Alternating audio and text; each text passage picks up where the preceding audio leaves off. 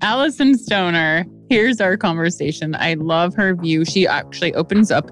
We talk about eating disorders and mental health. I started dancing first in my hometown, Toledo, Ohio, at the age of three.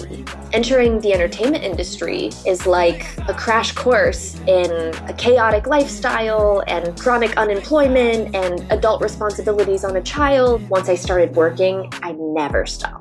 Like my first film was a box office hit with Steve Martin. And then after that, it was Dancing with Missy Elliott. And then after that, it was booking, you know, jobs on Disney Channel. How are you going to say no to this? I was auditioning for the role of Katniss in the Hunger Games. It reached a, an extreme level of commitment. I took it upon myself to train extensively. My health started declining because I was overexercising and undereating. I recognized at this point I am sacrificing my actual longevity for one role. This feels like the thing I was trying to control is now controlling me. At that point, I had never taken a break. I put together 14 days of live mindful movement classes. This is your chance to check in with yourself, reconnect, and it signaled to me this is important and valuable, especially at a time when the relationships to our bodies and our environments are shifting so significantly. I invite you to broaden the topic of mind and body and mental health and physical health and really start to see oh, this is a